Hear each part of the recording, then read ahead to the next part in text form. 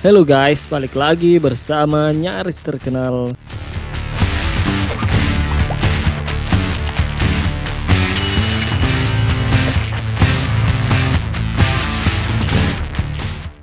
Angkatan Laut Amerika Serikat mengirim setidaknya tujuh kapal selam ke Laut Cina Selatan.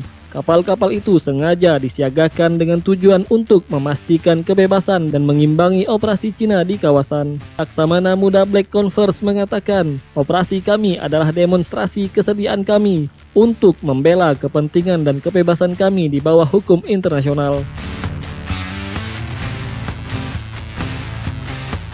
Kapal selam yang disiagakan itu termasuk empat kapal selam penyerang atau attack submarine yang berbasis di Guam, USS Alexandria yang berbasis di San Diego, dan beberapa kapal yang berbasis di Hawaii.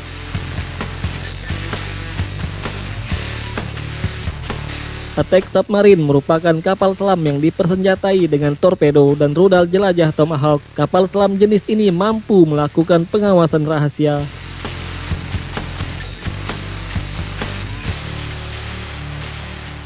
Selain kapal selam, Angkatan Laut Amerika juga telah menyiagakan armada kapal perang di Pasifik Barat sebagai unjuk kekuatan di kawasan. Langkah ini terjadi di tengah meningkatnya ketegangan antara Amerika dengan Cina di Laut Cina Selatan dan di tengah cekcok kedua ekonomi terbesar di dunia itu soal pandemi virus corona.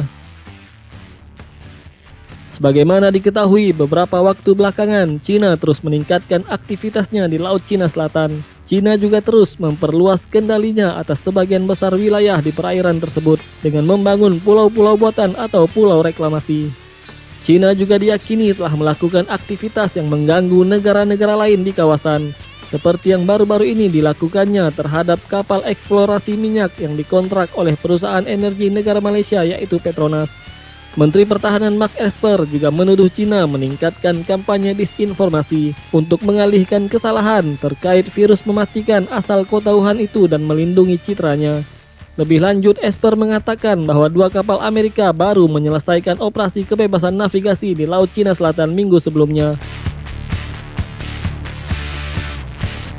Kedua kapal itu adalah kapal penjelajah berpeluru kendali USS Bunker Hill dan kapal perusak USS Berry. Kapal penjelajah berpeluru kendali USS Bunker Hill melakukan operasi kebebasan navigasi di Kepulauan Spratly dan kapal perusak USS Berry berlayar dua kali melalui Selat Taiwan dan melalui Kepulauan Paracel, wilayah yang disengketakan yang diklaim Cina sebagai miliknya. Aksi ini sebelumnya telah membuat marah Cina. Cina menyebut upaya Amerika itu sebagai tindakan provokatif dan mengancam ketenangan, serta dapat dengan mudah memicu insiden yang tidak terduga di kawasan.